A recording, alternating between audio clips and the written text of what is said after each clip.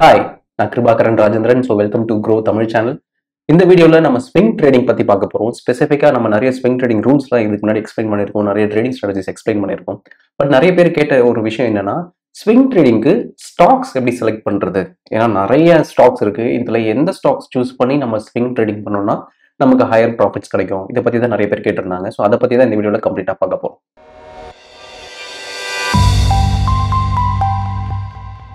சரி swing trading பொறுத்த வரைக்கும் நம்மளோட ஃபர்ஸ்ட் அண்ட் ஃபோர்மோஸ்ட் ரூல் என்னன்னா ரிஸ்க்கை கண்ட்ரோல் பண்ணணும். ஏன்னா இன்டர்நெட் ட்ரேடிங்னா நீங்கள் அன்னைக்கு காலையில் ட்ரேட் பண்ணி அன்னைக்கு ஈவினிங் முடிச்சிருவீங்க. ஸோ ஓவர் நைட் ரிஸ்க்லாம் பெருசாக இருக்காது. பட் நீங்கள் ஸ்விங் ட்ரேடிங் பண்ணுறீங்கன்னா அது ஃபியூ டேஸ் இல்லை ஃபியூ வீக்ஸ் இல்லை ஃபியூ மந்த்ஸ் கூட நீங்கள் ஹோல்ட் பண்ண வேண்டியது இருக்கும். அஸ் லாங் அஸ் அந்த ட்ரெண்ட் போகிற வரைக்கும். ஸோ அப்படி இருக்கும்போது நம்மளோட ஃபோர்மோஸ்ட் க்ரைட்டீரியா ரிஸ்க்கை கண்ட்ரோல் பண்ணுறது ஸோ நிறைய ஸ்டாக்ஸ் பார்த்தீங்கன்னா ஆல்மோஸ்ட் ஒரு two thousand five hundred stocks கிட்ட என்எஸ்சியில் இருக்குது ஸோ நீங்கள் ரேண்டமாக இல்லைனா ரொம்ப மைக்ரோ கேப் ஸ்டாக்ஸ் இல்லை ஸ்மால் கேப் ஸ்டாக்ஸ் அந்த மாதிரி எடுத்து ட்ரேட் பண்ணும்போது நிறைய ஸ்டாக்ஸ் வந்து பம்ப் அண்ட் டம்ப்ல வந்துடும் அப்படின்னா சில ஆப்ரேட்டர்ஸ் வந்து அந்த பர்டிகுலர் ஸ்டாக்கோட ப்ரைஸை ரொம்ப அதிகமாக மேலே கொண்டு போயிட்டு சடனாக டம்ப் பண்ணிடுவாங்க உடனே கிராஷ் ஆயிடும். அந்த மாதிரி ஸ்டாக்ஸில் நம்மளால வாங்கிட்டோம்னா வெளியே அவ்வளோ சீக்கிரத்தில் வர முடியாது. ஏன்னா அந்த மாதிரி ஸ்டாக்ஸுக்கு சர்க்கியூட் ஃபில்டர்ஸ் அப்படின்னு ஒன்று இருக்கும். என்னன்னா ஒரு சில ஸ்டாக்ஸோட வால்யூம் பொறுத்த வரைக்கும் இல்லைனா மார்க்கெட் கேபிட்டலைசேஷன் இந்த மாதிரி பல ரூல்ஸ் இருக்கு. பேஸ்ட் ஆன் அந்த பல ரூல்ஸ் படி எக்ஸ்சேஞ்ச் என்ன பண்ணணும்னா இந்த பர்டிகுலர் ஸ்டாக்குக்கு இவ்வளவுதான் சர்க்கியூட் ஃபில்டர் அப்படின்னு டிசைட் பண்ணுவாங்க. ஒரு ஓகே இந்த பர்டிகுலர் ஸ்டாக் ஃபைவ் பர்சன்ட்டுக்கு மேலே போகக்கூடாது. அந்த அப் சைட் ஆர் அந்த டவுன் சைட் இன்கேஸ் போச்சுன்னா அதை லாக் பண்ணிடுங்க. அதெல்லாம் ட்ரேட் பண்ணக்கூடாது ஃபார் தட் டே அப்படின்ற மாதிரி க்ளோஸ் பண்ணிடுவாங்க. இந்த மாதிரி ஸ்டாக்ஸ் நம்ம ட்ரேட் பண்ணும்போது என்ன ஆகும்னா பை சான்ஸ் ஏதோ ஒரு பேட் நியூஸ் வருது அந்த ஸ்டாக்கை பேஸ் பண்ணி அப்படின்னா இன்கேஸ் அந்த ஸ்டாக் லோவர் சர்க்கியூட்ல மாட்டிக்கிச்சு. லைக் லோவர் சர்க்கியூட்னா ஃபர்தரா எந்த ஒரு பையர்ஸுமே இருக்க மாட்டாங்க. உங்களால கொண்டு போய் விற்கவே முடியாது. அந்த மாதிரி சர்க்கியூட் ஃபில்டர் ஸ்டாக்ஸ் நீங்க ட்ரேட் பண்ணும்போது ஸ்பெசிஃபிக்கா ஸ்விங் ட்ரேடிங் பண்ணும்போது நமக்கான ரிஸ்க் ரொம்பவே அதிகமா இருக்கும். So first and foremost rule என்னன்னா ஸ்விங் ட்ரேடிங் பண்றீங்கன்னா இந்த மாதிரி ஸ்டாக் சர்க்கியூட் ஃபில்டர் இருக்கிற ஸ்டாக்ஸ்க்கு ட்ரேடே பண்ணாதீங்க. ஸோ எனக்கு எப்படி தெரியும் எந்தெந்த ஸ்டாக்ஸ்ல சர்க்கியூட் ஃபில்டர் இருக்கு எந்தெந்த ஸ்டாக்ஸ்ல சர்க்கியூட் ஃபில்டர் இல்லைன்னா சிம்பிள் எந்தெந்த ஸ்டாக்ஸ்லாம் பார்ட் ஆஃப் எஃப்என்ஓ எந்தெந்த ஸ்டாக்ஸ்லாம் ஃபியூச்சர்ஸ் அண்ட் ஆப்ஷன்ஸ்ல இருக்கோ அந்த எல்லா ஸ்டாக்ஸுக்குமே சர்க்கியூட் ஃபில்டர்ஸ் கிடையாது. ஸோ எப்போ போனாலுமே பையர்ஸோ இல்லை செல்லர்ஸோ இருப்பாங்க. ஸோ நீங்கள் ஈஸியாக எக்ஸிட் பண்ணிடலாம். ஸோ உங்களோட ஃபர்ஸ்ட் அண்ட் ஃபோர்மோஸ்ட் ரூல் நீங்கள் கேஷ் ட்ரேடிங்கில் பண்ணுறீங்க இல்லை ஈக்விட்டி கேஷ்ல பண்ணுறீங்க ஸ்டாக்ஸை வாங்கிட்டு கொஞ்ச நாளுக்கு அப்புறம் வைக்க போகிறீங்கன்னா எந்தெந்த ஸ்டாக்ஸ்லாம் part of F and O அந்த ஸ்டாக்ஸ் மட்டும் ட்ரேட் பண்ணுங்க. Other than that other stocks NSE five ஹண்ட்ரடோ small கேப்போ மைக்ரோ கேப்போ அந்த ஸ்டாக்ஸ்லாம் அவாய்ட் பண்ணிடுங்க. நெக்ஸ்ட் நம்ம வந்து ஒரு ஸ்டாக்ஸ் ஸ்விங் ட்ரேடிங்ல பண்றோம்னா லைக் கொஞ்ச நாளுக்கு வெயிட் பண்ணிட்டு விற்க போறோம்னா எப்போ ஒரு ட்ரெண்ட் எஸ்டாப்ளிஷ் ஆகுதோ அப்போதான் நம்ம உள்ள போகணும். ஸோ வேல்யூ ஸ்டாக்ஸ்லாம் சொல்லுவாங்க. வேல்யூ ஸ்டாக்ஸ்னா ஃபண்டமெண்டலி சீப் ஸ்டாக்ஸ் அது இப்போ வாங்கிட்டோம்னா அது என்னைக்காவது ஒரு நாள் மூவ் ஆகும் அப்படின்னு அதெல்லாம் இன்வெஸ்டிங்க்கு ஓகே பட் ட்ரேடிங்கை பொறுத்த வரைக்கும் we need short term returns ஒரு ஒரு கம்மி பீரியடில் நமக்கு ஒரு குயிக் ரிட்டர்ன்ஸ் வேணும் அப்படின்றதுனால தான் நிறைய பேர் ஸ்விங் ட்ரேடிங் பண்ணுறாங்க ஸோ நீங்கள் அந்த மாதிரி ஸ்விங் ட்ரேடிங் பண்ணும்போது ஃபண்டமெண்டலாக அனலைஸ் பண்ணி வேல்யூ ஸ்டாக்ஸ் போனீங்கன்னா உங்களுக்கான ரிட்டர்ன்ஸ் வரலாம் பட் இமீடியட்டா வராது. ஸோ அதுக்கு தான் மொமெண்டம் ரூல்ஸ் அப்படின்னு ஒன்று ஃபாலோ பண்ணுவாங்க.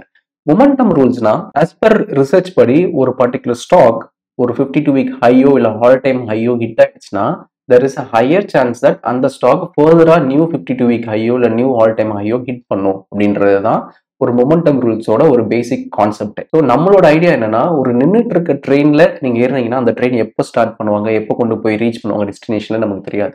ஸோ மொமெண்டம் ட்ரெயின்ன்றது ஒரு ஓடிக்கிட்டு இருக்க ட்ரெயினில் கொஞ்சம் அப்போ தான் ஸ்டார்ட் ஆகுது அந்த ட்ரெயின் நீங்கள் அதில் ஏறிட்டு வித்தின் ஃபியூ மந்த்ஸில் நெக்ஸ்ட் ஸ்டேஷன்லையோ இல்லைனா நெக்ஸ்ட் ஒரு கம்ப்ளீட் ஒரு ஃபியூ ஸ்டாப்ஸ்ல இறங்குற மாதிரி தான் மூமெண்டம் ரூல்ஸ்ன்றது ஸோ ஒரு கம்ப்ளீட்டாக ஹால்ட்டாக இருக்க ஸ்டாக்ஸ் ஒரு மூமெண்ட்டே இல்லை அந்த ஸ்டாக்ஸில் வாங்கிட்டு வெயிட் பண்ணுறதை விட ஒரு மூமெண்டம் வந்துருச்சு ஒரு ஸ்டாக்ல ஒரு அப் ட்ரெண்ட் ஆரம்பிச்சிருச்சு. அந்த ஸ்டாக்ஸில் நீங்கள் உள்ளே போயிட்டு ஒரு ஃபியூ டேஸ் இல்லை ஃபியூ வீக்ஸ்க்கு அப்புறம் வெளியே வந்தீங்கன்னா நமக்கான ப்ராபபிலிட்டி ஆஃப் ப்ராஃபிட் ரொம்பவே அதிகமாக இருக்கும். ஸோ எப்படி இந்த மூமெண்டம் இல்ல இருக்கிற ஒரு ஸ்டாக்ஸ் எல்லாம் நம்ம ஐடென்டிஃபை பண்ணி ட்ரேட் பண்றது. ஸோ அதுக்கு ஃபர்ஸ்ட் நம்ம ஒரு ரூல்ஸ் டிரைவ் பண்ணணும். ஸோ ரூல்ஸ் டிரைவ் பண்ணணும்னா என்னன்னா எப்படி இந்த மொமெண்டம் நம்ம குவான்டிடேட்டிவ் ஃபேக்டர்ல டிரைவ் பண்ணலாம்? எப்படி ஒரு ஸ்பெசிஃபிக்கா ஒரு ரூல் பேஸ்ட் அப்ரோச் மூலியமா இந்த மொமெண்டம் ஸ்டாக்ஸை பிக் பண்ணலாம்னா என்னென்ன ஸ்டாக்ஸ்லாம் ஃபிஃப்டி டூ வீக் ஹைலையோ இல்லை ஹால் டைம் ஹையோ ஹிட் ஆகுதுன்னா அந்த ஹால் டைம் ஹைல இருந்து ஒரு ஃபைவ் பர்சன்ட் கீழே இருக்கணும் இல்லைனா ஜஸ்ட் அந்த ஹால் டைம் ஐயோட இப்போதான் ரீசெண்டாக ஃபைவ் பர்சன்ட் கிராஸ் ஆயிருக்கணும். இந்த மாதிரி ஸ்டாக்ஸ் நம்ம சூஸ் பண்ணோம்னா அது வந்து ஆல்மோஸ்ட் ஒரு நல்ல ஸ்ட்ராங் மொமெண்டம் ஏரியான்னு அர்த்தம். ஏன்னா அது ஒரு ஹால் டைம் ஹைல இருந்து ஹிட் ஆயிட்டு ஒரு ஃபைவ் பர்சன்ட் கீழே தான் ட்ரேட் ஆயிட்டு இருந்ததுன்னா ஃபர்தரா நியூ ஹால் டைம் ஹை கண்டிப்பா ஹிட் ஆகும். அண்ட் அதே மாதிரி ஆல் டைம் ஹை கிராஸ் பண்ணி ஜஸ்ட் ஒரு ஃபைவ் பர்சன்ட் பக்கத்துல தான் ட்ரேட் ஆயிட்டு இருந்ததுன்னா ஃபர்தரா அந்த அப் ட்ரெண்ட் கண்டினியூ ஆகும். ஸோ நம்மளோட ஃபோர்மோஸ்ட் ரூல் என்னன்னா எந்தெந்த ஸ்டாக்ஸ்லாம் first all time high hit ஆகுதுன்னு பார்க்கணும். அண்ட் அதுல எந்தெந்த ஸ்டாக்ஸ்லாம் இந்த ஃபைவ் பர்சன்ட் ரேஞ்ச்குள்ள இருக்கு? சரி சப்போஸ் ஸ்டாக்கோட ப்ரைஸ் தௌசண்ட்னா நம்மளோட எக்ஸ்பெக்டேஷன் ப்ரைஸ் எங்கே இருக்கணும்னா in case all time high price வந்து தௌசண்ட் ருபீஸ்னா அந்த தௌசண்ட் ருபீஸ்லேருந்து மேபி நைன் ஃபிஃப்டிக்கு மேலே இருக்கணும் தௌசண்ட் ஃபிஃப்டிக்கு கீழே இருக்கணும். ஸோ இந்த மாதிரி தான் இதுதான் அந்த ஃபைவ் பர்சன்ட் ரூல் ஸோ இந்த ஃபைவ் பர்சன்ட்குள்ளே இது ஆசிலேட் ஆயிருந்ததுன்னா நம்ம அந்த ஸ்டாக்ஸை தான் நம்ம சூஸ் பண்ணி அதில் தான் ட்ரேட் பண்ண போகிறோம் ஸோ ஒரு தௌசண்ட்ஸ் ஆஃப் ஸ்டாக்ஸ் இருக்குது எஃப்என்ஓவில் பொறுத்த வரைக்கும் ஒரு ஒன் எயிட்டி ஸ்டாக்ஸ் இருக்கு. ஃபியூச்சர்ஸ் அண்ட் ஆப்ஷன்ஸ் இந்த ஒன் எயிட்டி ஸ்டாக்ஸில் எந்த ஸ்டாக்ஸ்லாம் வந்து இந்த மாதிரி all time hit high hit ஆயிருக்கு?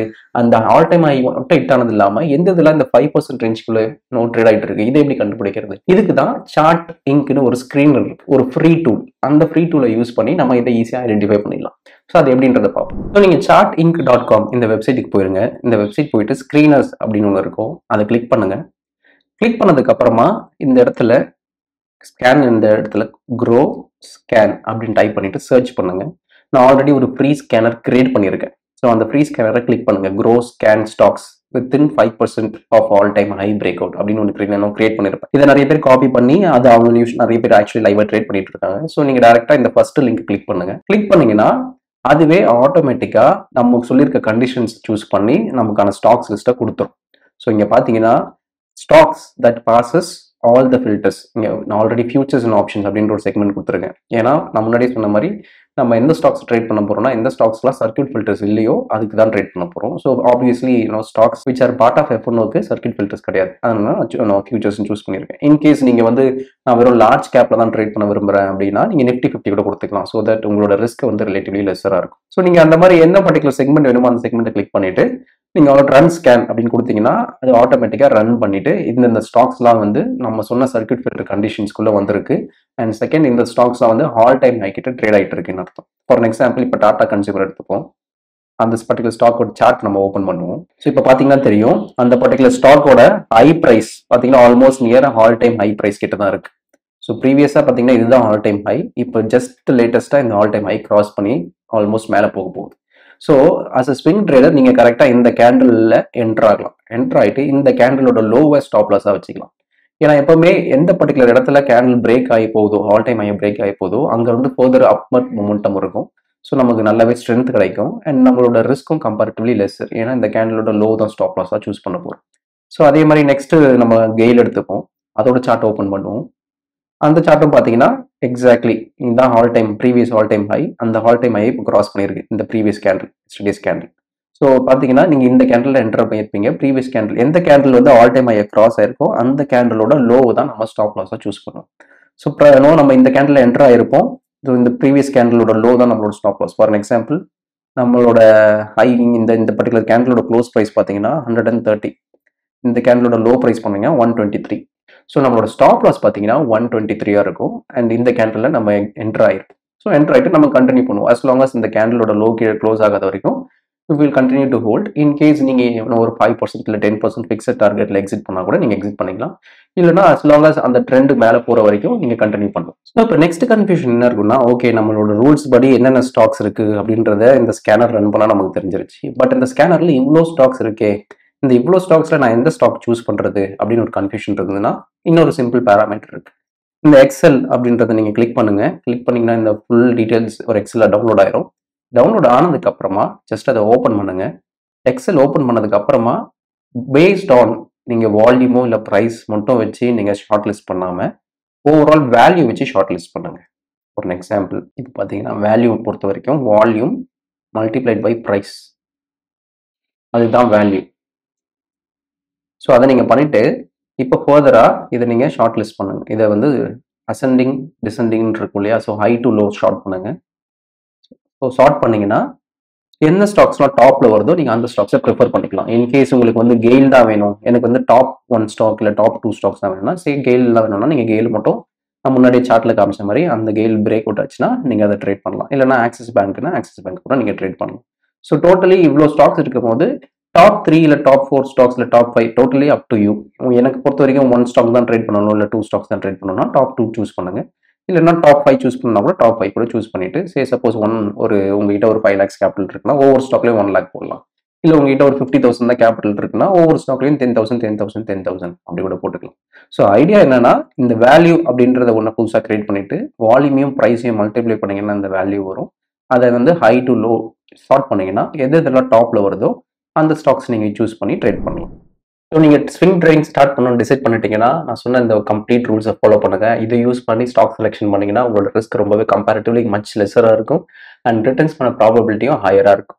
அதே மாதிரி ஒரே ஒரு ஸ்டாக் அப்படி இல்லை வச்சு ட்ரேட் பண்ணாமல் ஸ்விங் ட்ரேடிங் பொறுத்த வரைக்கும் அப்படி ட்ரேட் பண்ணாமல் அதை நீங்கள் டைவர்சிஃபை பண்ணுங்கள் அட்லீஸ்ட் ஒரு த்ரீ டு ஃபைவ் ஸ்டாக்ஸ் உங்களோட கேபிட்டலில் ஈக்குவலாக டைவர்சிஃபை பண்ணிட்டு அட்லீஸ்ட் இந்த மாதிரி அஞ்சு டிஃப்ரெண்ட் ஸ்டாக்ஸில் நீங்கள் ஸ்விங் ட்ரேடிங் பண்ணீங்கன்னா டெஃபினட்டாக உங்களுக்கு வந்து அட்லீஸ்ட் ஒன்று இல்லை ஒன்றாவது ஒரு ஓவரால் ட்ரெண்டிங் மூவ் கொடுக்கும். ஸோ ஈஸியாக நீங்கள் ஒரு பெரிய ட்ரெண்டை கேப்சர் பண்ணலாம்.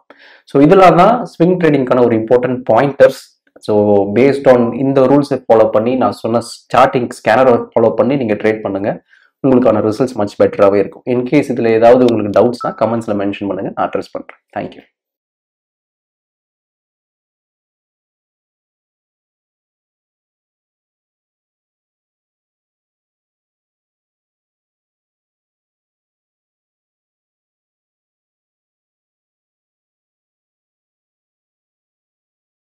Investment in securities market are subject to market risks. Read all the related documents carefully before investing. Please read the risk disclosure documents carefully before investing in equity shares, derivatives, mutual fund, and or other instruments traded on the stock exchanges.